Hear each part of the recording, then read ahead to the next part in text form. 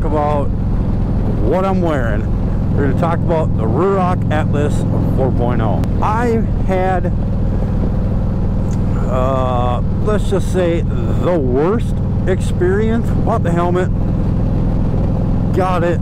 It's the wrong. It was the wrong size. I went. I measured like they told me.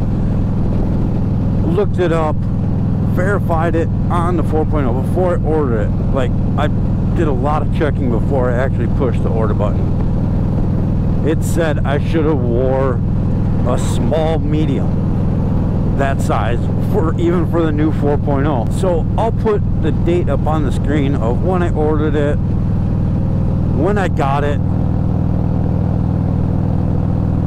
when I returned it then when they shipped the second one. It was so bad. I'll I'll put this up in my in my uh, motovlog here. It was so bad I couldn't even fit it over my head.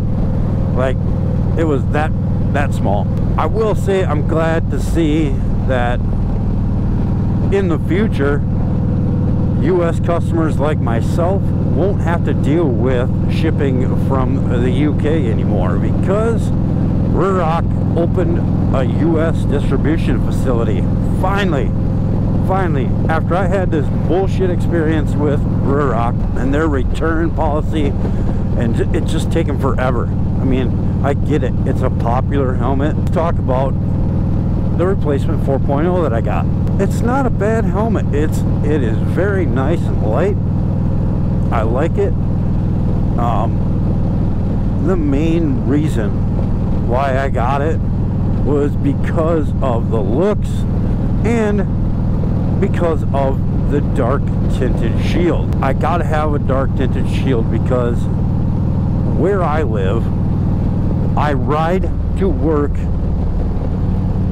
facing the sun. I come home from work, I'm facing the sun. So it can be blinding if I don't have a helmet that can kind of block out the light. The helmet that I'm currently wearing, uh, a Ruroc Atlas 4.0 Crimson, and the one that I'm currently wearing is a medium large.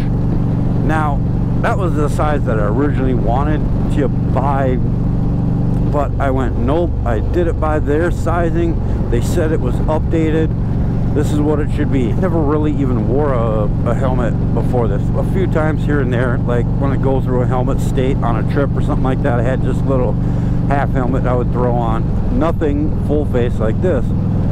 So I never, I didn't have any sizing to go off of for previous helmet experience. So the only thing that I don't like about this helmet is the fitment on my cheeks. Now, I know all about the the 3.0 debacle and all that stuff with those super horrible cheek pads that everybody on YouTube talked about. I, but these cheek pads, for me, I don't know if it's because my jaw is wider for my size of the head or what. It's not very comfortable on my on my jowls and I don't really like that. So people said that the Atlas 4.0 is quieter than the Atlas 3.0 and it's quieter than the Shoei RF 1400. I can hear a bunch of wind noise right now in my, I don't know if it's because my helmet right where it's sitting is getting the wind off my windshield but it or if it's even picking it up on mic but I'm getting a bunch of wind noise through this helmet. So for me, it's not as quiet as I thought it would be. I do have the shockwave installed in here, so I don't know if that's helping, you know, curb some of that sound. All right, so one other negative thing that I uh, I didn't like about this helmet when I got it. So this helmet is 475 bucks, right? This Ruroc is supposed to be a premium helmet, right? Well, when I opened up the box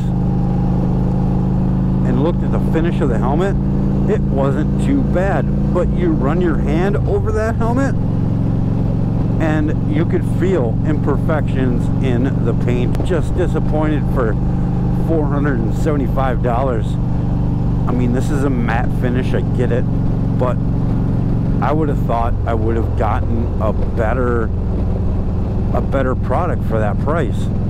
Or is it that they're just push trying to push them out so fast to catch up with orders that they their quality is lacking. I guess I'm not sure really.